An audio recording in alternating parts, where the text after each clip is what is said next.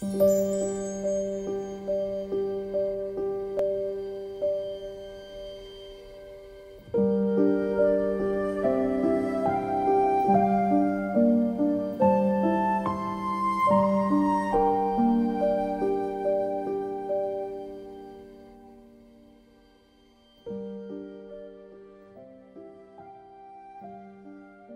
afternoon. So, you may have gathered by the music and by the beautiful view of the pond that this is going to be a video about calm and relaxing. Before you, you have chamomile and calendula. After making my recent salve of comfrey, it occurred to me that I really like the feeling of that on my skin too, not just the effects of the comfrey, but the feeling of taking care of myself. And so I decided to make a calming balm of chamomile and calendula.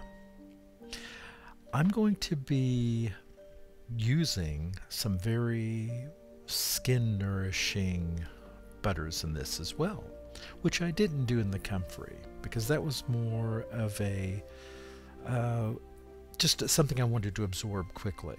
Okay, it wasn't about smell or anything else. This, however, I just wanted to be something very gentle and calming, both to the skin but also to my attitude. And sometimes just um, the gentle smell of chamomile is just what I need.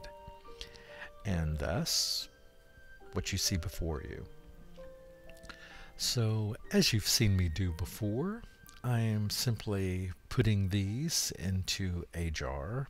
This is a quart mason jar. Actually, I don't know that it's mason, it may be Kerr or ball. However, uh, I'm going to be adding a, the mixture of oils and butters that include shea butter. Um, shea butter being the overriding butter in this, along with some meadowfoam and olive oil. Uh, I just wanted something very gentle on the skin, but slightly moisturizing as well, of course, but also something that would, I don't know, make me feel good. And this is something I think that would be good for you too. You need to find time within your day to be peaceful, to be mindful. Uh, there is so much in the world that can stress us, that can distract us, that can take us away from us, ourselves. You have your family to take care of, you have animals, you have, oh, bills, and all those sort of things that all we grown ups have to deal with. But don't forget to take care of you. You are the most important person. Now, that may sound selfish, but it truly isn't. If you're not well, if you're not taking care of you, how can you care for others? How can you do the things that you love to do to bring joy to others if you're not joyful. So, just something to consider. Above all, I want you to be happy. So, again, these are my oils and butters here, and uh, I was really happy with this mixture, and it has come out wonderful. I, matter of fact, I have some of this on my skin now, and it's fantastic.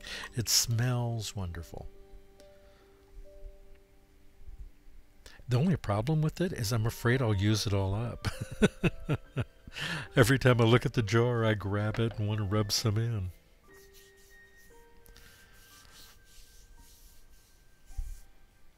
Okay, so uh, moving forward here, I'm pouring these over the petals and flowers here. And I just let it slowly bubble down through.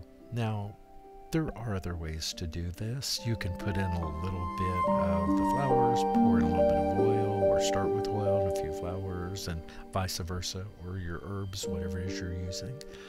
This is just what I did in this one. I didn't think it out very much.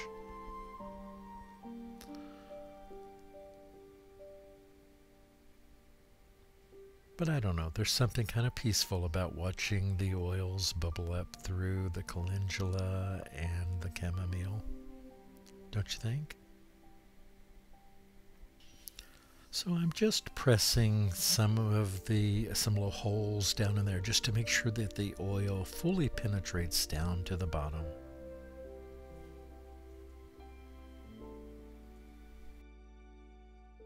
So I heated this for about 8 to 10 hours. I think it was about eight and a half hours at 200 degrees.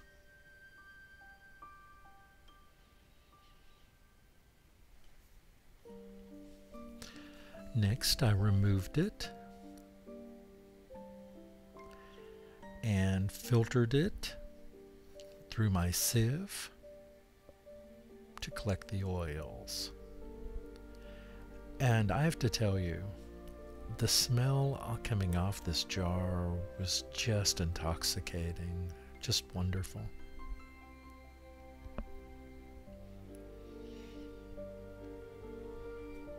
You know, I have used chamomile infused oils and calendula infused oils in soaps before. However, the saponification process takes away uh, a lot of the fragrance. This does not. As a matter of fact, it seems even stronger by putting it in a salve or balm. I haven't yet looked up the difference between a salve and a balm.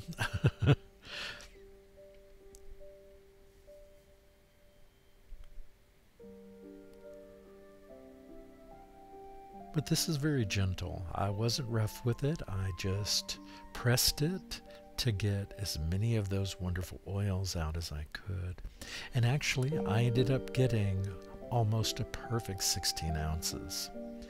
And I don't dispose of these when I'm done, of these herbs. These go into compost and then into the garden to make more chamomile and calendula. So now I have my oil. I tried to bring it up there and show you, but I was afraid I was going to spill it. but it looked wonderful. It smells terrific. And there's my beeswax. Now, you could use another type of wax, such as a soy wax if you choose.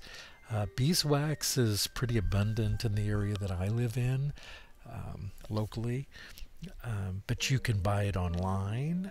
You can get it at some farmers markets. I know you can here. So, what I've done here is I've got the oil now in a uh, like a Pyrex uh, measuring cup and I'm going to heat it up slightly and then add the beeswax so that the beeswax melts within the oils.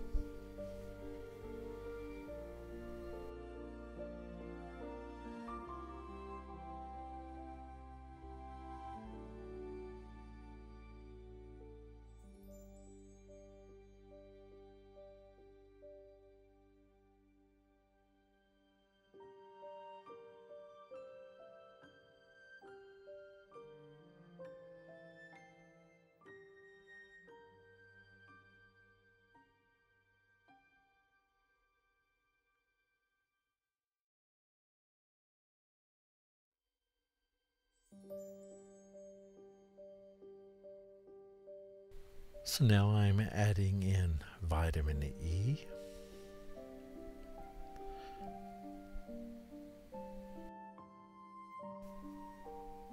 Now I do refrigerate this so it stays fresh longer.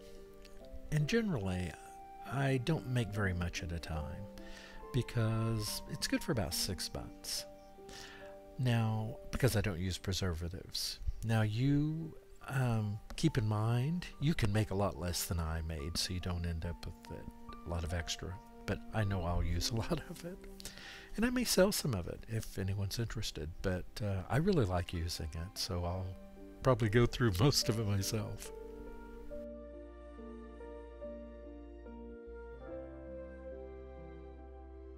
I just added in a little bit of kaolin clay. And I will put the recipe in the description here so you don't have to guess on these things.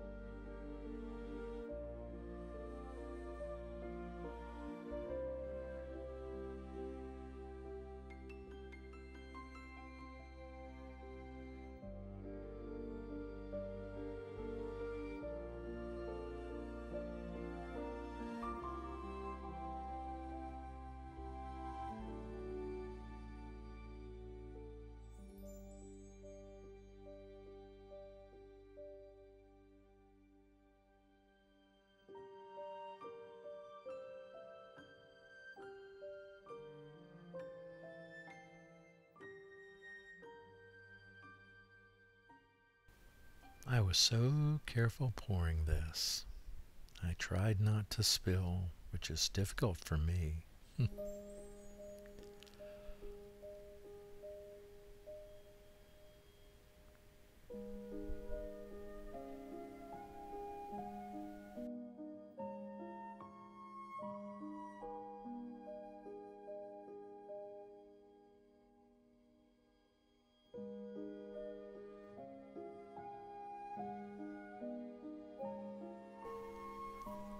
So, of course, I couldn't resist adding a little something.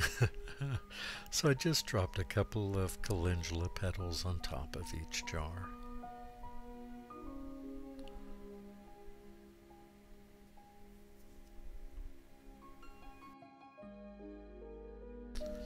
So I want to thank you all. I hope you enjoyed this. And no, I'm not stopping making soaps. I love making soaps. I just like doing other things too and just wanted to show you. If there's something in particular you want, reach out to me, ask me. I'm thinking about doing some massage oils too. I'd love a massage. I haven't had one in ages. Thanks, everyone. Have a terrific day. Goodbye.